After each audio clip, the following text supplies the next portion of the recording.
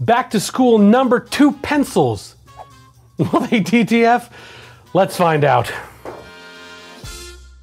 I gotta be honest. When someone on the team suggested this, I was like, wait, wh- why? This is a dumb idea.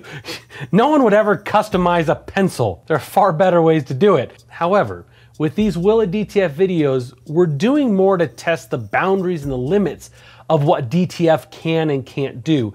Not necessarily things we think you should offer your customers. Also, we think they might spark some other ideas of things you could use, create, customize with DTF. What I think we're gonna find out today is not can you DTF on a pencil, but how Small can you make DTF graphics? I started by measuring one of the flat faces of the pencil, and it's roughly an eighth of an inch. When I went to load the file into CADLink, it wouldn't let me do it.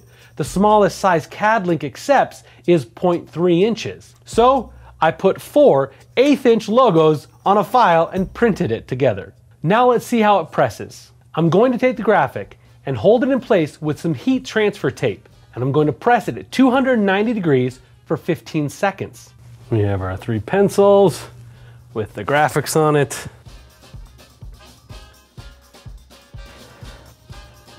If you think my trying to DTF a pencil is ridiculous, press that like button. If you think I might just be a genius, comment E equals MC squared in the comments below.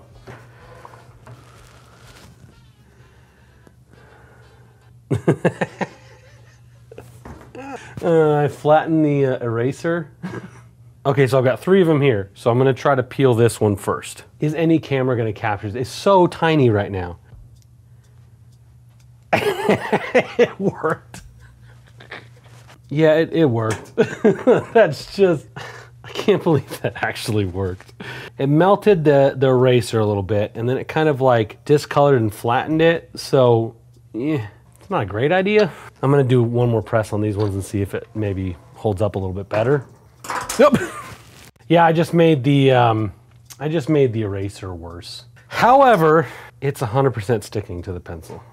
Oh, but some of the heat caused the finish to kind of come off with that heat press tape. So, number two pencils. Will it DTF? It does. I really don't see the point. Why am I doing this video even? Guys, seriously,